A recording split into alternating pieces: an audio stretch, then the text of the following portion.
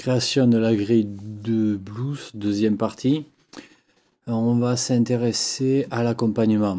Première partie, euh, euh, première chose à faire, on va écrire la grille au-dessus de la main droite du piano ici. Donc pour écrire la grille, on sélectionne le premier silence, on fait un contrôle K et là on peut commencer notre grille. C'est un blues en si bémol majeur, première, euh, premier accord, si bémol 7. On est d'accord. Deuxième accord, mi bémol 7 et on continue. Si bémol 7,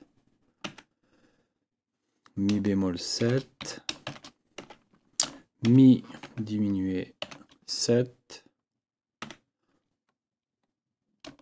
Si bémol 7 sur Fa, Si bémol 7, Do mineur 7, Fa 7, si bémol 7, Fa 7. On est bon. Si on vérifie, si bémol 7, mi bémol 7, si bémol 7, mi bémol 7, mi diminué 7, si bémol 7 sur basse Fa, si bémol 7, do mineur 7, Fa 7, si bémol 7. Ok, tout est bon. Alors, maintenant, on va s'intéresser à la basse. C'est-à-dire, ici, ça va être notre main gauche de piano. Euh, parce que pour le piano, pour l'instant, on va garder main droite l'accord, main gauche la basse. Alors, ici, on va commencer à rentrer les notes de basse et tout simplement, on va rentrer des rondes qui seront la tonique de l'accord. D'accord? De la tonique des accords qu'on vient de rentrer. Donc, on appuie sur N, on choisit la valeur de la ronde et on est parti. Donc, Si bémol, mi bémol, si bémol, si bémol à nouveau, mi bémol, mi, fa, si bémol, pardon, do, fa, ah non, pardon, oui, do, fa, oui, oui, oui, si bémol, fa, ok. On va écouter déjà.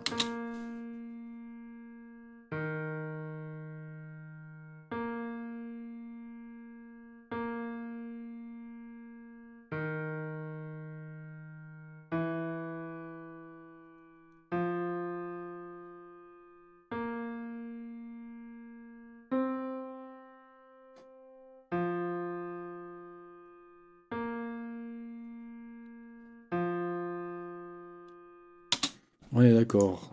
On va... Cette ligne de basse euh, main gauche, on va la descendre d'une octave. On va la copier. CTRL C. Et on va la coller. CTRL V ici dans la basse acoustique. D'accord. La basse va suivre exactement le même mouvement que la main gauche du piano. On peut écouter.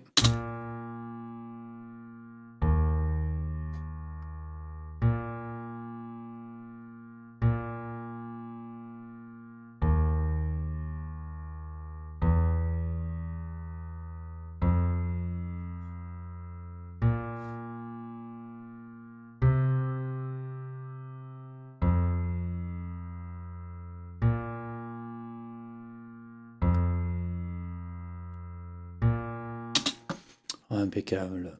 On va maintenant s'intéresser à la main droite du piano. Donc on va rentrer les accords dans leur euh, sans renversement particulier, du moins avec un peu de voicing. On va commencer le premier accord si bémol 7 en valeur de ronde, pareil. Donc on va utiliser pourquoi il m'a rajouté une note là On ne le saura pas. Voilà, si bémol, ré, fa, la bémol. À partir de là, on va mettre mi bémol 7. Ah, j'ai pas la bonne valeur, pas la bonne durée. Ok, on revient sur si bémol 7. Encore ce ré qui se rajoute.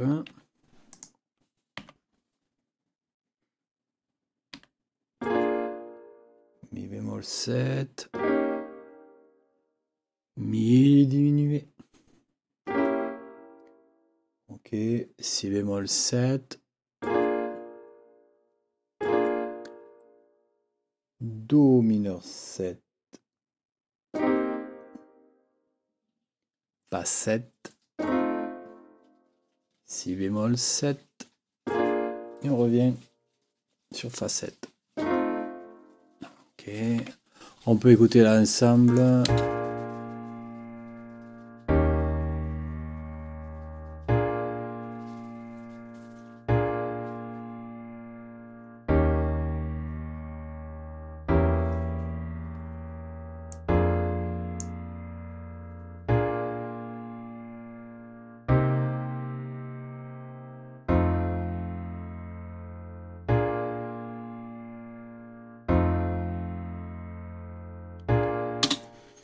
Ça fonctionne.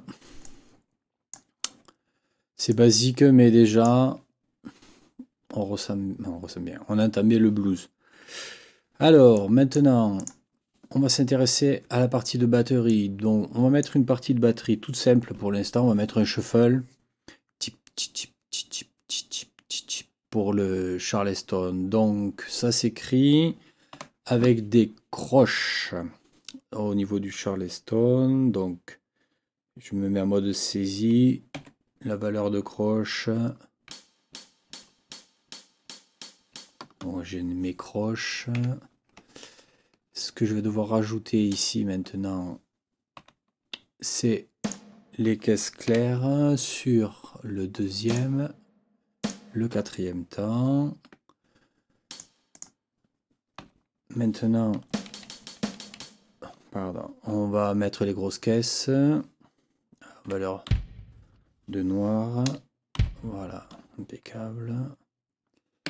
On a notre rythme de base. On va l'écouter. Ok, oh malheur, ça ne fait pas de shuffle. Alors, on pourrait écrire ici, au lieu de croche toute droite, on aurait pu partir sur des triolets, mais il me semble qu'il y a quelque chose de plus simple. Ouais, de plus, oui, de plus simple à la saisie de plus simple, c'est de passer sur les le style. Voilà. Et dans le style, on a ici le paramètre de swing. Ça porte bien son nom. On va mettre un swing. Là, il est sur 100 swing. Donc, on va mettre un paramètre de swing à la croche et on va mettre 60%. Voilà. Ok. Et maintenant, on écoute. Ok. On va le faire répéter le rythme. On va choisir les répétitions, les reprises. Et on va pouvoir réécouter toute notre grille avec la batterie en plus.